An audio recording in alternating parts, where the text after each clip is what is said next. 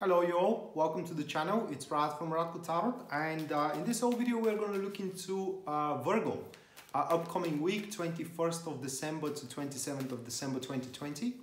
And uh, just to let you know guys, there is a, a, flash sale going on on the tarot classes which is excluded to my Facebook page followers. And um, through the sale, you can get the minor arcana class of, with a 50% off and the major arcana class with a 35% off. Uh, if you do want to take uh, that deal and you're not a Facebook follower, you can find my Facebook page link down in the description below and just give me a message on the Facebook uh, page messages and I'm going to provide you with a link where you can pretty much take advantage of the sale.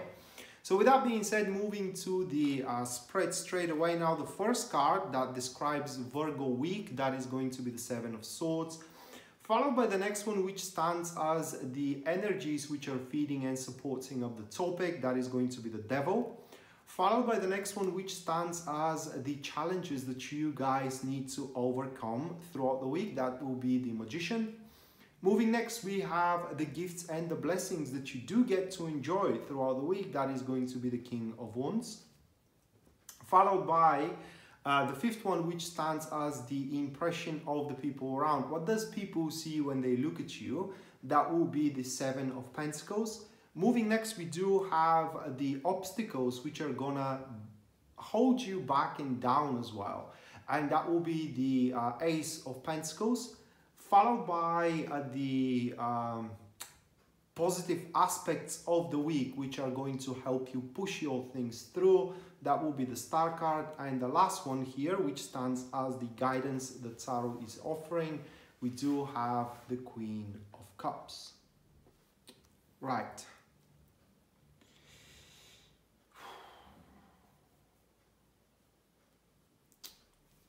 That's a pretty interesting read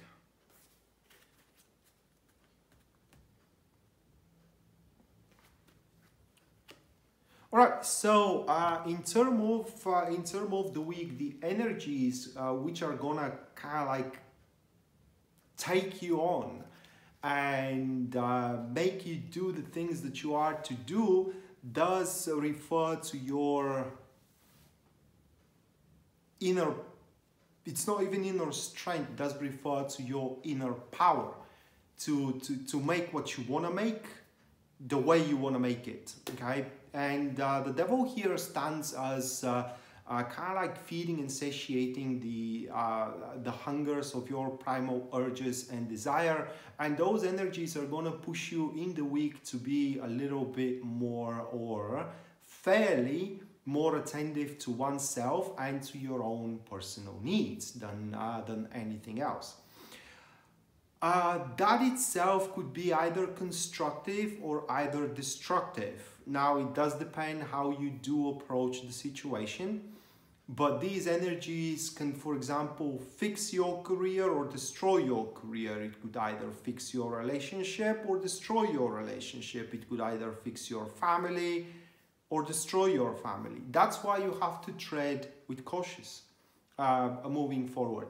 Now, while it is important to have the, the, the, the things and the situations the way you do want to have them, also those uh, situations needs to uh, kind of like give something to those around you as well. So the uh, how can i say the plan right? The um, yeah the plan that moves that you both or you all are to move forward needs to suit all of you.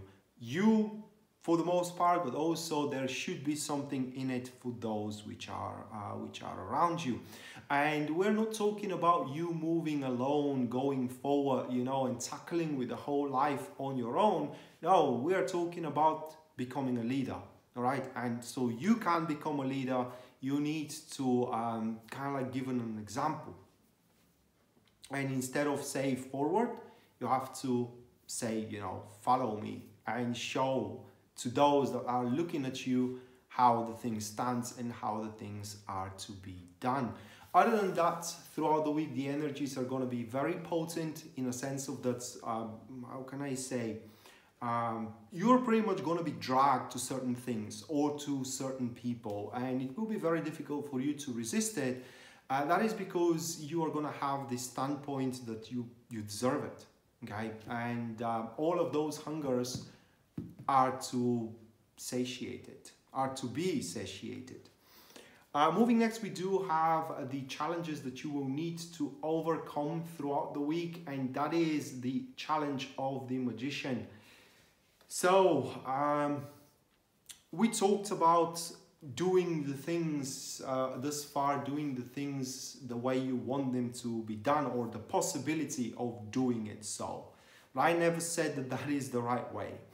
And uh, that's why we do have the magician here because you uh, and the challenge for it is going to be to do them the right way in the sense of that whatever you do or whatever you aim for or whomever you aim for it needs to bring you uh, sovereignty uh, personal independence.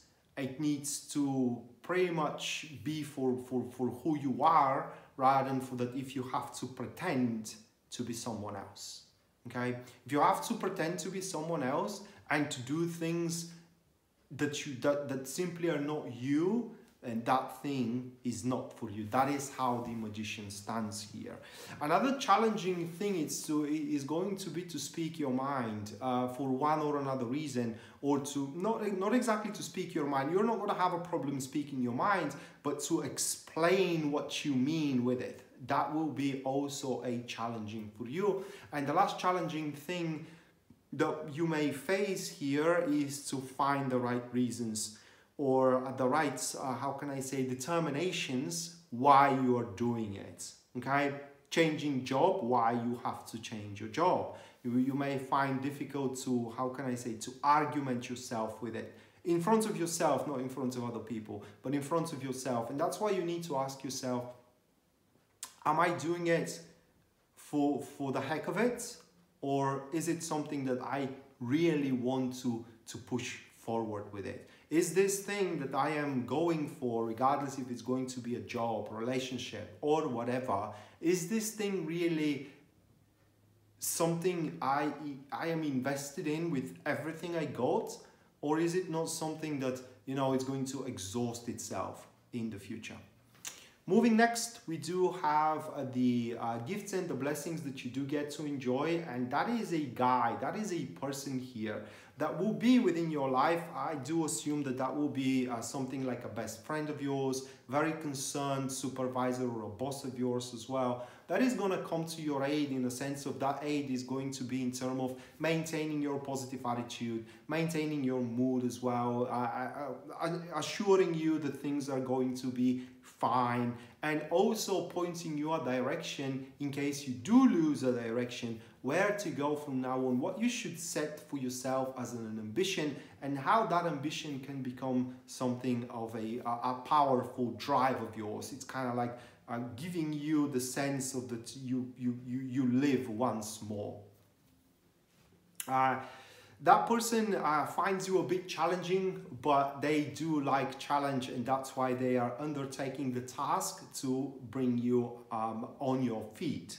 Because, like I said, with the with the start of the reading, those energies can be constructive, they can be destructive, and I do believe that for some of you, for the most part of you, Virgo, you are going to do a little bit of both, or a fair share of both and you may construct something in your life, satiate certain hungers, on an expense of something else. Or suppress certain hungers, and that is going to make you feel bad. And um, that person is going to be reassure you that you did the right thing because um, what I missed to say here at the start of the reading is that a big um, direction or rather like uh, what is going to be what, is going to have the final word as with the seven of swords stands it is the righteousness that you do hold within. So it's kind of like you are going to see what is fair and what is not fair and simply judge or render your verdict in that particular sense. Should you go for your temptation here uh, and for your pull or or not?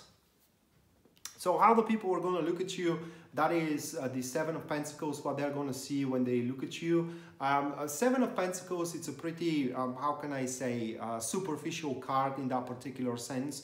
Uh, when they pe when people look at you, they first are going to see uh, a, a subject or a person that it's it's kind of like contemplating over something and also people are going to when they look at you they're going to see you hesitant uh, and that is kind of understandable not hesitant but like not being able to make up one's mind. And uh, that being said it's kind of like this is kind of close to mind because you have a lot to deal with throughout the week you know suppressing one urge and letting other urge to go through but paying for it as well. So uh, the week itself is going to be for you at least very i can't really find a word for it. Uh, very mm, powerful maybe. It is what i can what i can say here.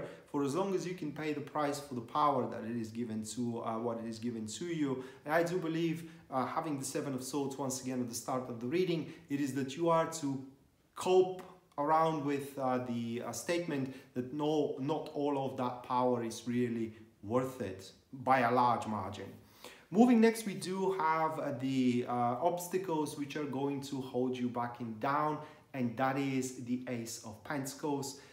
And uh, here it is where the key is, okay? That is the impression of a future that it is simply not as stable as you think it is. That is a vision of a future that you may thought it is your cue. It is that opportunity you have waited to have content of life, to have an exhilaration, to have glee as well, uh, in generally to experience sensual joy and ecstasy. Maybe you have imagined some kind of a, uh, a, a very harmonious relationship coming forward, or maybe you have imagined very successful business that is going to having those power at you, realizing what, what to what extent you gotta go to in order to kind of like develop that thing. It ain't worth it at all and uh, having to withdraw from this hope that you placed into that into that endeavor it is the obstacle that may hold you back and down.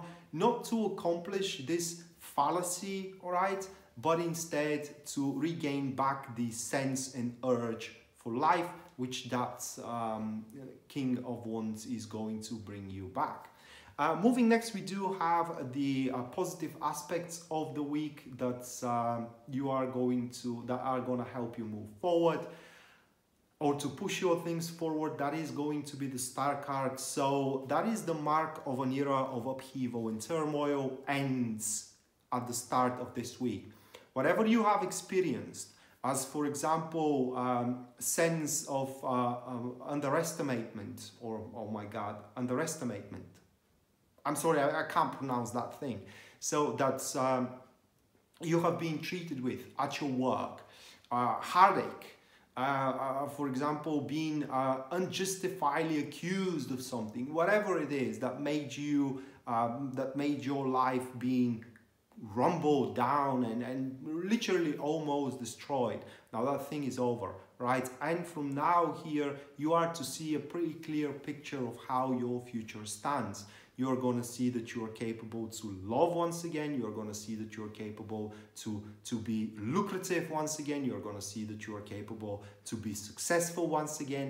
And that vision for the distant future because the star card develops very slowly okay? Uh, in, in its appearance it marks the era of the end of turmoil and it gives you something far in the future to look forward to something that pretty much falls within all of your criterias and your ideals and um, if that's about a job or a career, then uh, that could be an offer for something small as a job that can grow exponentially high and five years from now, you may find yourself being a CEO into the board of directors, right, or uh, as a, a very um, a valuable asset as a supervisor there, and so on and so forth. If it is about relationship and you had a heartache or you had a, a really bad fight or whatever it is, this is the mark of a unfolding love, but it starts small, right? It always starts small with the uh, with the star card. So you may fall in love into this week as well, or you may start falling in love. Not exactly fall in love, but start falling in love. And the star card is always uh, mutual. So it's not just gonna be only you, but also the other person. You may rediscover love as well, uh, or rediscover what it, what is gonna make you successful, and so on and so forth. So it's the, the, the grand scheme here is that the star card marks the end of that very bad era that you went through um, in the previous week or in the previous couple of weeks and so on and so forth. And now that is over and you can pretty much restart your life. And the last thing that we do have that is the uh, guidance that Tarot is offering. That will be the Queen of Cups. And uh, it's, it's pretty diverse, the guidance of the Queen of Cups in this narrative. Uh, the biggest guidance of the Queen of Cups, it is that you need to hold on to that which is stable. Uh, the Queen of Cups is always a, uh, if I have to say it as a person, that is a person who always clings to that, that it kind of like holds their emotions in check all right and doesn't have any ups and downs. So you hold on to the job that uh, it pretty much is a long-term job. You hold on to uh, your family because the family is long-term. For example you hold on to the relationship that can go a long way and so on and so forth.